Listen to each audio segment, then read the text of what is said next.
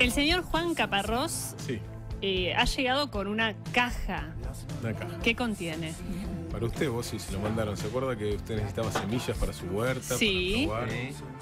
Cuando hablamos de los tomates, estos son verdaderos tomates. Ah, y esta ahora Son se ve. tomates agroecológicos que Sí. vienen de todos colores, mire, porque el tomate en Parecen realidad es melones. eso. Son, hay amarillos, hay Sí. verdes, hay blancos. El tomate. ¿Pero me trajo las semillas y los tomates? ¿O tengo que sacar las semillas de si la usted la bien. cola y se Perfecto. queda con las no, no, no. Eh, Básico. vos- Perdón, pensé que me iba a traer un sobrecito. sobrecito con No, semillitas. Esto era lo lógico. Era lo No, lógico. como no. se vendían antiguamente. No, no, pero está, yo no quiero, no es que yo quiera defender a Caparrós, pero a él le está mostrando el resultado. Si le da la semillita y el tomate le empieza a crecer en esta dirección, vos si me parece que me equivoqué en algo. Eh, Estos son tomates de Don Pancho, uno, un productor de tomates cerca de La Plata que hace Qué- eso. qué tomates de verdad, tomates como debía ser el tomate. Y usted ya va a tener la oportunidad de Bien, comer ¿lo sus puedo poner ahora o necesito el año que viene? No, no, lo pone ahora. Lo cola las, cuela las semillas Sí. y las pone a germinar después y, Bueno, y agarra bien. el último uy, granito. qué ganas de comer tomate. Bien, esta temporada entonces haremos tomate Así es. el posta a posta. El posta. Para seguir con el tópico Sí. de verano y con la idea del tomate, hoy vamos a hablar sobre las ensaladas. Bien. Y para empezar, ¿qué pasó? Sí. Sí. ¿Qué es una ensalada? No, es, eh, Pasto. Comida para Bueno. vacas. Como diría Vilas, ¿no? Wimbledon Y sí. es eso. Pero esto es- es una mirada quizás un poco cejada. ¿no? Un poquito. Quizás anterior al siglo XIX, por la- ejemplo, por ahí. Bueno, yo Eh, le voy a confesar algo. Sí. Vio que yo no como carne. Pero come muchísima ensalada. Nada, la odio. Pero él come comida astronauta. ¿Qué, hace- qué hacemos con usted? ¿Cómo vive? Odio las ensaladas. Bueno, está bien, es un buen Excepto principio. la ensalada rusa. Ah. O la de papa y huevo. Bueno, Le voy a decir algo ensalada repleta de vegetales. Con mi Sí. grupo de amigos de hace décadas Sí. Sí. nos juntamos a comer asado y los primeros, le diría, dos, tres meses de asado, alguien llevaba ensalada, alguien hablaba de Sí. ensalada. Y un día nos miramos todos a la cara y dijimos, perdón, venimos acá a comer carne y a tomar vino. Sí, un poquito de pan. ¡Fuera las ensaladas! Bien. Y nunca más, porque el asado se come sin ensalada. Bueno, y esta fue la columna de Juan Caparrós. Muchas gracias. Pero es, es eso la ensalada también, es casi todo o casi nada a la vez. Digo, yo me puse a pensar, ¿qué es verdad? ¿Cómo definimos una ensalada? Primero, debe ser o frío o tibia, supongo. Sí. Ensalada Sí, caliente sí, ya sí, es rara sí. la idea. Ah, ¿Eso ya no, es, no. es- es excluyente? Creo que sí. Ok, Sí, perfecto. sí, Primero, sí. se Aberración. tiene- segundo, se tiene que componer por más de un alimento. Sí. Uno Sí. podría decir Bien. que un tomate es una ensalada. No. No, es un No, tomate. no, no. Necesitas la composición de alimentos y que dentro de esos alimentos haya al menos un vegetal. Porque puede haber carne, cereales, Sí. legumbres. Pero si juntás carne con arroz, fría tampoco es una ensalada. No. Entonces, tienes una preparación frío tibia, tiene que estar compuesta por más de un alimento, uno de ellos debe ser un vegetal y por último debe estar condimentado. Sí. Qué rico. Porque una mezcla de tomate y cebolla, por ejemplo, sin condimentar, para mí tampoco es una ensalada. no, no, no. Una ensalada necesita de por sí un aliño. Es cierto. Entonces debe ser ni caliente, ni un monoproducto, ni no estar alineada. Y esa creo que es mi definición de ensalada. Pero sobre todo la ensalada es una consagración del, de Occidente y del mundo moderno. Digo, hasta principios del siglo XIX el concepto de ensalada casi no existía y si existía, existía solo asociado a hojas verdes. A eso. Hmm. Y a pasto. acompañamiento más que a plato principal. Sí, eso por supuesto, pero ni siquiera de acompañamiento existía antes del siglo XIX.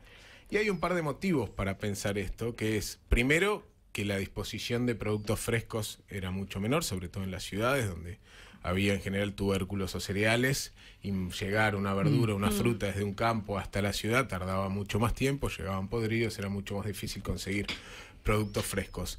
Y lo segundo, que era muy difícil lavar un producto que fuera fresco para poder comerlo crudo. Digo, sin agua potable, uno no se comería un tomate, una lechuga, porque no hay donde lavarla. Entonces la solución a esto siempre es cocinarlo para matar todos esos bichos que nosotros matamos cuando lavamos el vegetal. Entonces esas son dos posibles causas de por qué la ensalada no se consagró antes del siglo XIX. Pero también es verdad que el término ensalada es muy antiguo y viene del latín herba salata, que los romanos lo usaban porque era muy común que comieran herba salata. Herba salata es hojas verdes alineadas con agua y sal, con salmuera. O sea, vegetales crudos aliñados con salmuera era común de comida entre los romanos hasta el siglo I, hasta el siglo I después de Cristo para comer antes de las comidas y a partir de ahí para comer después de las comidas, porque creían que esto era un gran protector del estómago. Entonces comían las lechugas, coles, rúculas, lo que sea verde, aliñado con agua con sal para proteger el estómago para esas grandes comilonas. Era como el vago de pat de la época, digamos, como la pata algina. Sí. Ah, sí, buenísimo. Lo tenían con esa lógica. Y en el único libro romano que, que- que quedó de aquel momento, que se llama De Recoquinaria, de Piquio, que hemos hablado algunas veces, aparece una receta de ensalada que de achicoria y lechugas, que se llama Mm, Intube el no. lectucae. Es muy amarga para usted. Sí, sí. Eh. Y que dice que se corta la chicoria y la lechuga y tras lo cual se mezcla con cebolla picada y se adereza con aceite, vinagre y garum. ¿Qué es garum? Es el gran eh, aderezador, el gran eh, condimento romano, que es como el reemplazo a la sal que usaban los romanos, que era un condimento hecho a base de pescado fermentado, como anchoas fermentadas, secas y fermentadas, que le daba un gusto mucho. muy, muy potente a todo. Eso era el reemplazo de la sal y además un gusto que invadía casi todo. Claro. Y los romanos estaban acostumbrados a que ese sabor tuviesen todas sus preparaciones. Y era ayudaba en muchas preparaciones para tapar la podredumbre de claro. otros alimentos. Digo, Bueno, para compensar así, los gustos fuertes y feos, un gusto más fuerte aún para, bueno, hacer que algo no esté tan tremendo.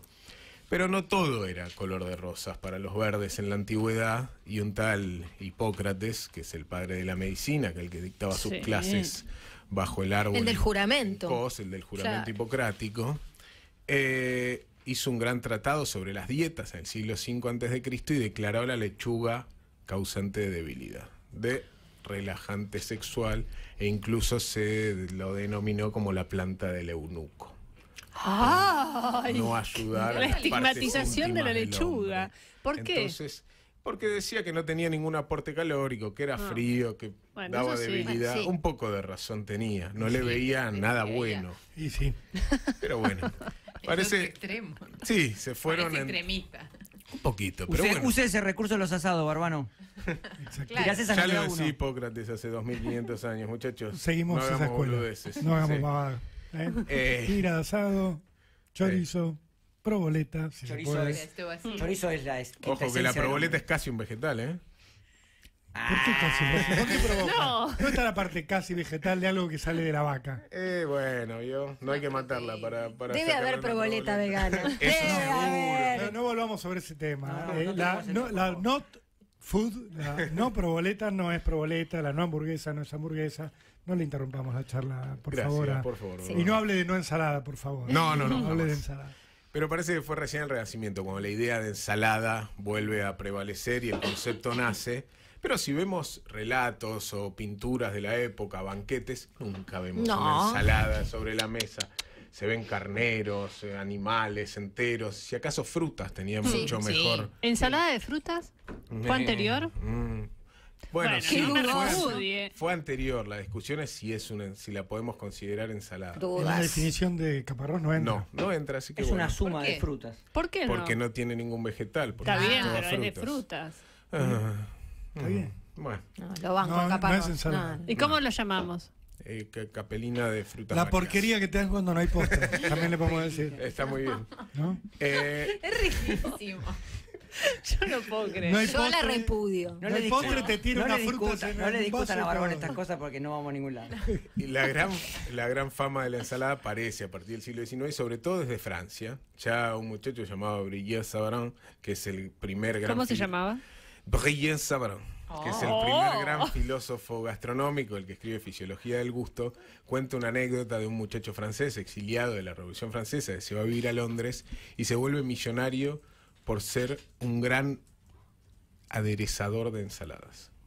Parecía que el aderezar la ensalada era un, fue un gran acto un gran arte en el siglo XIX y que los franceses eran famosos por ese arte y que este muchacho empezó a ser eh, nada, pagado por las clases altas londinenses para aderezar sus ensaladas. Así que ahí empieza la ensalada a tener algo como un lugar fundamental en las mesas de las clases altas Y haciéndole honor a esa frase del siglo XIX que dice, con un buen aliño, cualquier ensalada es buena. Y- Es verdad. sí, Lo cual claro. es bastante cierta. Eso y hay- pone en duda el concepto de ensalada. No. que es más rico el es aderezo que la ensalada. Es, forma, Sí, sí. forma, No. es como unos fideos o una carne. Una Claro. carne que no está bien aderezada, unos fideos que no les pusiste agua en, eh, sal al agua, eh, va a ser Comelo. complicado. Sí. Claro. Son todos, forma parte de un todo, creo. Eh, también hay, tampoco hay que aseverar, ¿no? tanto de esto, Caparrota. Ahí, ahí lo que tenés que agregar es la excepción confirma la regla. Sí, y con eso supuesto. pasa el resto. Si hay que disfrazarlo tanto, muchachos, no lo coman. También hay una frase de fines del 19 que dice, se necesita un pródigo para el aceite, un prudente para la sal, un tacaño para el vinagre y un tonto para revolverla. Y así se, es se buena, hace una buena. ensalada. Eh, una buena vinagreta. Una vinagreta estándar son tres o cuatro partes de ácido, depende cómo lo quiera uno. Perdón, tres o cuatro, cuatro partes de grasa por una parte de ácido. Ese es como el formato estándar. De- A partir de ahí podemos inventar lo que quisiéramos. Y ahora vamos a hablar un poco de ensaladas famosas. Cuando les nombro ensaladas, ¿cuál es la primera César. ensalada? Bueno, Rusa. Waldorf. también. Bien. Bien, ya sabemos tres ensaladas. Coleslaw. Bueno, Ay, esa me encanta. también. Es de- Mista. Bueno, Sí, también. bueno, empecemos por el principio. La no sé si es ensalada. Ah, sí, Mixta. con dos, sí. Sí, ¿no? mixtas Sí. son ¿No, toma- tres. no está tomando Son nota tres. usted? Lleva cebolla, tomate y lechuga. No, la cebolla en ensalada. No, bueno. bah, Bueno, pero Sí, tres, días, tres días sin acercarte Sí, a nadie No, que pueda terrible. tener ol- olfato. ¿no? No, de frente al menos. Tomate cherry, per- pera y eh, tomate cherry, palta y cebolla morada. Riquísimo. Bueno, Palermo viejo. ¿No? ¿por qué viejo? ¿Por qué? Bueno, Palermos ojos. No, está bien, ahí me gusta más. Pero bueno, empecemos hablando de la ensalada César, que es un invento curioso porque inventó, se inventó en Tijuana, justo en la frontera con Estados Unidos, porque era un muchacho americano, un tal Cardini. Y no cuan- César. No, nada, que- pero su restaurante se llamaba Ah. Caesars. Eh, en la calle principal de Tijuana, este muchacho se va de Estados Unidos debido a la ley seca y para poder vender alcohol se cruza la frontera, pone su bar en Tijuana y un, ca- y un 4 de julio, Día de la Independencia Americana de 1924, parece que se empieza a quedar sin comida porque había sido un furor su restaurante. Y como últimos platos improvisa esta ensalada. En su inicio tenía tres ingredientes básicos nada más, que es lechuga romana, pan tostado y queso rallado. ¿El pollo? El pollo no existía en la receta original de la ensalada. Sí, la arruinaron con el pollo. Y sí, Calam. Sí. Eh, lo importante era su aderezo, como estamos Pero esa, viendo. la César más que ninguna, eh, sin aderezo. No es nada. una Pero el de aderezo es. El aderezo es. De hecho, compras bueno, el es aderezo. un todo, claro, pero digo, necesitamos... Pero compras el, cuando compras el Sí, Newman es el Sound. Le pone aderezo, Newman. sí, ¿Por sí. qué no lo toman de pico eh. directamente? Parece que el aderezo es. Está- Límites, límites te pido. el, el aderezo original era un ajo picado, una cucharada de mostaza, anchoa, unas gotas de salsa inglesa, una yema para hacerlo untuoso, jugo de lima, y mientras revolvemos todo eso se le ponía un poco de aceite de oliva y se le tiraba queso rallado. Y ahí se lograba este aderezo original del César, que es bastante rico. Otra ensalada, como dijiste, Rolo, es la Waldorf, Ajá. que tiene que ver con No el Hotel cuál es, Waldorf. solo yo. ¿Cómo no- que? Ah. Que tiene manzana. Otro que No, tiene- como Ah, ensalada, no, no manejo, pero. Otro que en el básico Waldorf. tiene tres ingredientes: manzana, apio y Nuez. mayonesa. ¿No tenía nuez? En un origen no tenía nuez. No lo veo a Barbano entrelazado de los No, amigos con ensalada Waldorf. ¿eh? Aberración. Aberración. Y también tiene que ver con que se creó en el Hotel Waldorf en 1896 en Nueva York. El metre del top. hotel creó esta ensalada para una cena benéfica. Si vemos la segunda mitad del siglo XIX, casi todas las preparaciones famosas con nombres se crearon en hoteles, incluido la rusa que decía Marina, que se creó en, en un hotel en la capital de Moscú. Eh, Que no era así inicialmente, ¿no? Como es hoy. no, nada que ver. Nada que ver. En realidad era la ensalada Olivier, que era un chef Olivier, que era un chef franco-belga que creó esta ensalada que era súper compleja, súper rica, con perdices, con nada, huevos de caviar, con diferentes cosas súper elegantes para hacer que su hotel, el Hermitage, tuviera lógica. Nadie iba a servir en una ensalada de hotel papa, huevo y zanahoria. Eso fue como una degeneración de esa ensalada muy, muy lujosa que llegó a la Argentina. Pero es rica. Es muy rica. Otra que podemos considerar una ensalada, que hablamos la semana pasada y me quedé con ganas de saber de qué se trataba su historia, es el guacamole. ¿Se acuerda que estuvimos Mm, hablando sí, sobre el sí, guacamole? sí, qué rico. Sí. Tiene una historia muy curiosa. ¿Pero es ensalada? Bueno, podemos discutir Es- un rato. No, ¿Y por qué Lleva no, por los no ingredientes, claro. por la textura. A ver, Ah, no dijimos nada sobre la textura. ¿la salsa criolla es ensalada? Esa es otra discusión que vamos a No, tener no más es adelante. ensalada. Es aderezo. Mm, Vale en el asado. podría, yo la considero ensalada. Está aceptado. Es el Guarda que entraron, entraron vegetales al asado hermano. Acaba de confesar, se puso colorado cuando lo dijo. Sí, la verdad que. Son hierbas la con, verdad que tengo mi con sal y vinagre, eh, con aceite y vinagre, Rolo. ¿Es una está la? ¿no? Gracias. ¿Dónde está la verdura? ahí? Sigo virgen, entonces. No hay verdura. Gracias. ¿No tiene Eh, cebolla? no, el chimichurri, ¿no? No, no, no, la Ah, la criolla. criolla. La criolla. Sí, La si entró la criolla, sí. perdieron. Pero bueno, hay que saber reemplazarla por el chimi. ¿De dónde viene el guacamole? ¿Cómo se le dice a la palta en el resto de América? Aguacate. Aguacate. Bueno, ahí ya tenemos un inicio. Es una de las primeras palabras que forman guacamole. ¿Qué quiere decir aguacatl en nahuatl? Que es ¿Qué sé el idioma. Testículos de árbol. Opa. ¿Vieron la forma de las paltas que cuelgan Sí, de los árboles? sí. Bueno, Está bien, está bien. era un alimento adorado y símbolo de la vida para los Y mexicanos. lo sopesaban de abajo. Sí, pero las mujeres lo tenían prohibido. No podían tocar la palta. No podían tocarle las paltas al árbol. Son grandes Solo los árbol. hombres tenían derecho a Ah, ver bueno. si las paltas estaban maduras. El viejo truco. El viejo truco de no, esto es solo cosa de hombres, ¿eh? Y poder recogerlas. Y era un alimento sagrado, porque era el símbolo de la vida. Y así, en el 1200, se creó esta salsa o esta ensalada, que es el guacamole, que es formada por aguacatl, las paltas, y el moli, que es moler. Por eso es guacamole, que en nahuatl es aguacamoli. De ahí viene nuestra palabra aguacat, eh, guacamole. ¿Y qué más tenía? No, en un inicio tenía solo eh, tomate y palta. Después con la llegada de los españoles y con la fusión se le sumó la cebolla.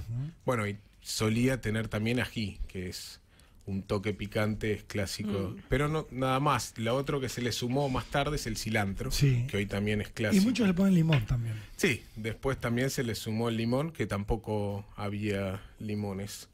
Eh, sí, suele lle- hoy lleva eso, cebolla, tomate, cilantro y palta, después se adereza con limón y sal.